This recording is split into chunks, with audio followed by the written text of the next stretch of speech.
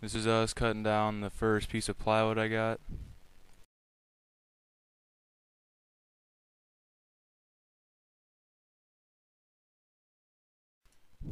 And notice how we have the board completely flat against the fence.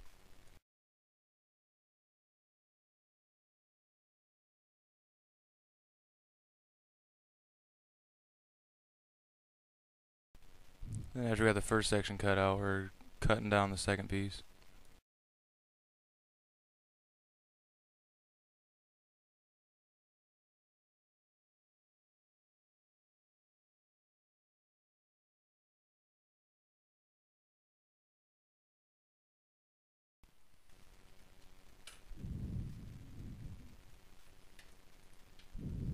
After you get that one, I have to do some fine cutting on the table saw.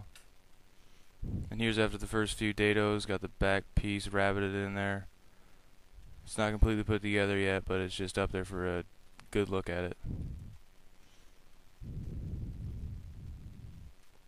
That's where I'm going to dado the slots for the drawers. And then I got that done. It's all put together, glued and air nailed in. And there's the dado parts for the drawer slots.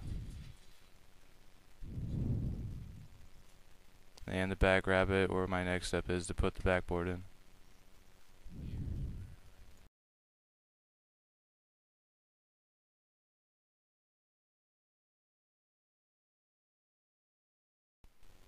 And now I got the backboard in and the 2x2 there isn't completely put in yet. And the shelf is pocket screwed in with the shelf holders and so is a 2x2.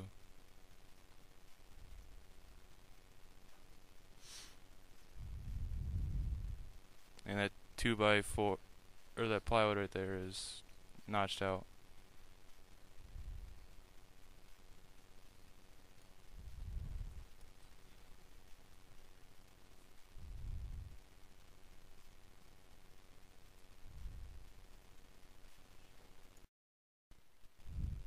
The next step is to glue and clamp the cutout trim pieces and air nail them in.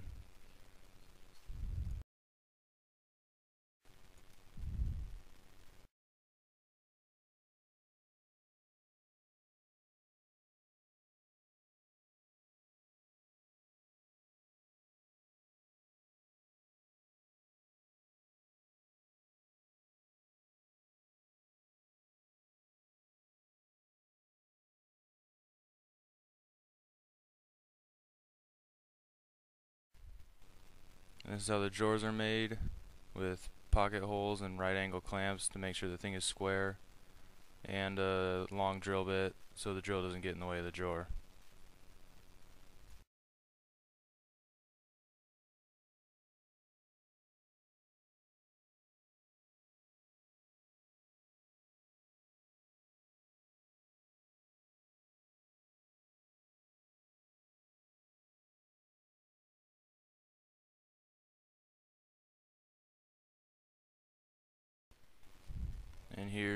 Other part of the drawer with the other side on it and the right angle clamps. And after that you have to put the bottom piece in, which is just held in place, and pocket screws facing down so that when the drawer is open you can't see the pocket holes or the screws from the inside.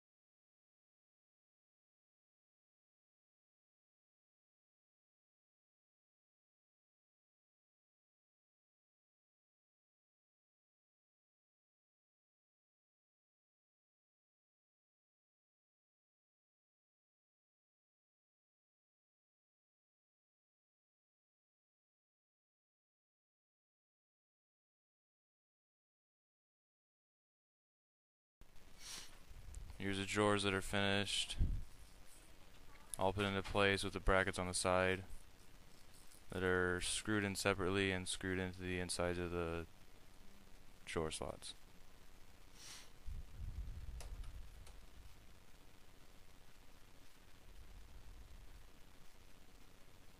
And there's the four, third drawer. Same thing.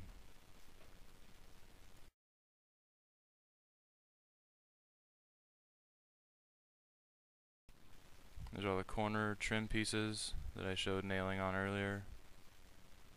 And the drawer trims on the top and the bottom. There's a shelf. 2 by 2 It's not for sale in California.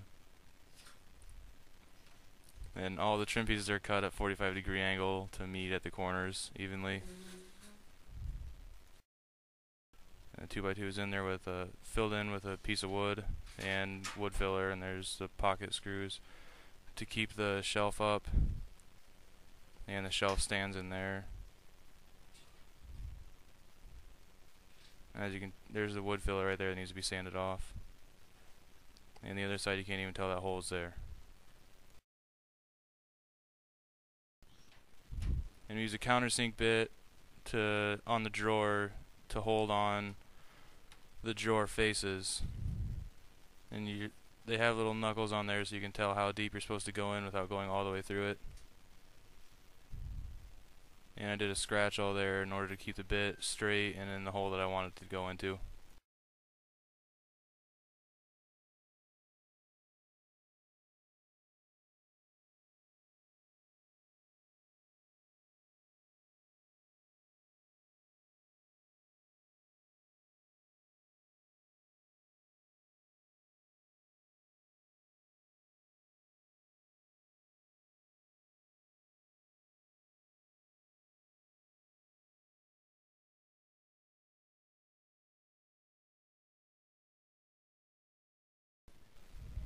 And here's a nice nightstand in the process of staining.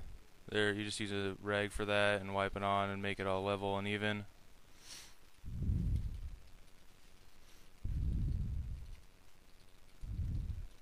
And here's the wipe on polyurethane I'm using to water protect it and make it shine. Same way as the stain to put it on there.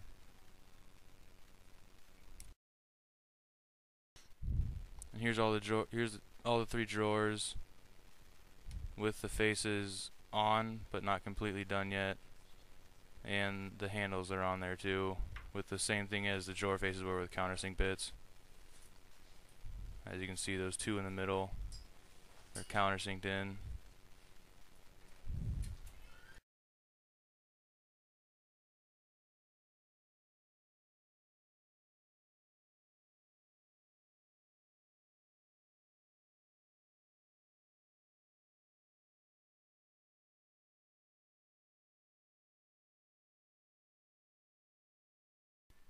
And there's another look at the color of the stain on the bottom for now.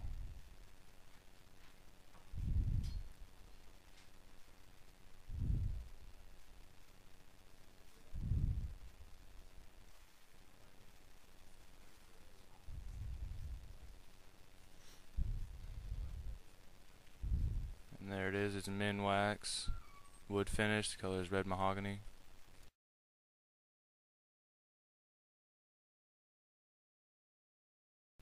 And there's the finished project with two coats of polyurethane and the red mahogany color.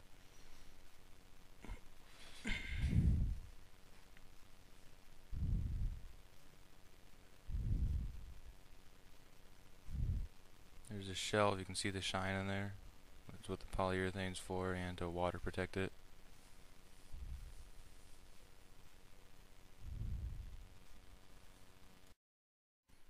And that's the process of building a nightstand by Mitch Leppert.